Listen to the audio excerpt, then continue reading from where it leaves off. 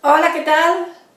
Pues nada, vamos a sembrar menta o también llamada hierbabuena. Esta es de la marca Bayet. La simiente, no sé si me costó un euro 35 así, más o menos. Y bueno, vienen 12.000 simientes. Bastante bien para la calidad del precio. Esto se siembra ahora en primavera, con lo cual hay que sembrarlo ya.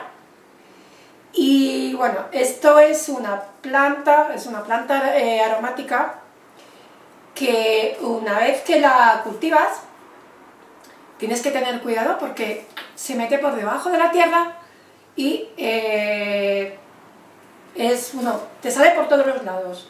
Yo tengo ahí sembrada, eh, pero la tengo dentro de un cubo, dentro de un cubo para que no me, junto a otras hierbas aromáticas, para que no se me salga por todo el jardín. Pues bien, las voy a sembrar en este bote para que veáis cómo germina y cómo va saliendo.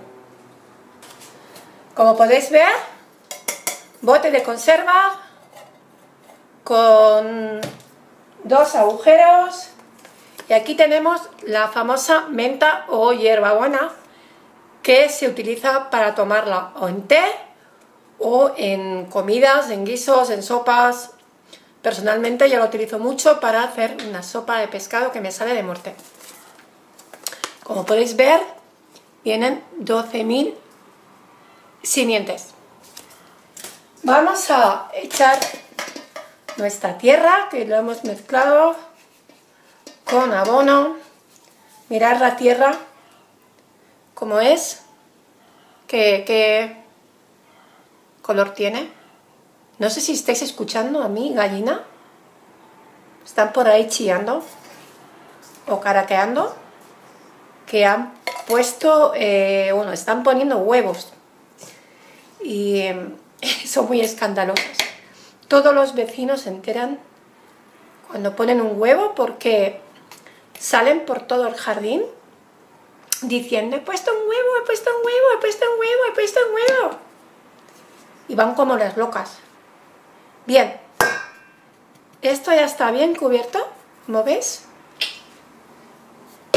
Bien, cubierto. Y ahora, mirad.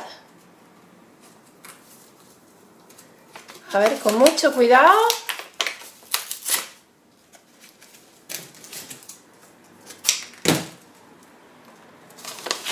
Vais a ver cómo es la simiente. Mirad. ¿Veis? y mirar cómo es la simiente. Mirar. Es muy pequeñita. Pues bien, lo que voy a hacer es esparcirla. No hace falta mucho, ¿eh? Ya está. Esta la guardo. ¿Veis? Porque tampoco hay que excederse de cada simiente es una planta, con lo cual vas, o sea que hay más de sobra. Y ahora, nada, movemos un poquito la tierra para que quede por abajo. ¿Eh? Tal cual. Bien, suficiente. Y ahora vamos a regar. Como hace bastante buena temperatura, no las voy a cubrir con un plástico. Normalmente yo las cubro con un plástico, que luego hago agujeros para que haga efecto invernadero. Pero como hoy, por ejemplo, va a hacer 23 grados, con lo cual no es necesario. ¿eh? No es necesario. Cuando hace más fresquito, sí.